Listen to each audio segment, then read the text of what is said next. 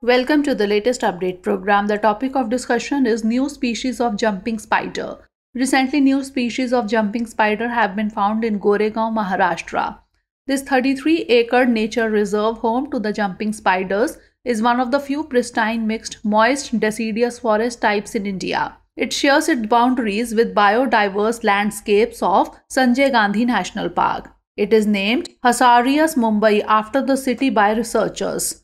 Researchers discovered them inhabiting the rocks close to the streams at the Bombay Natural History Society's Conservation Education Center. The word Hasarius refers to a genus, a category in taxonomy that ranks above species of jumping spiders in the Salticidae family. It has multiple eyes that give a 360 degree view of its surroundings. These are spiders who, instead of trapping their prey in a web, stalk and hunt them by pouncing. This genus, first discovered in the year 1826, occurs primarily in warm climates. In 2017, findings of two new spiders, Languirus onyx and Languirus lacteus from Aarey forest has also been published. In India, however, there are only two other Hasarius species which have been documented.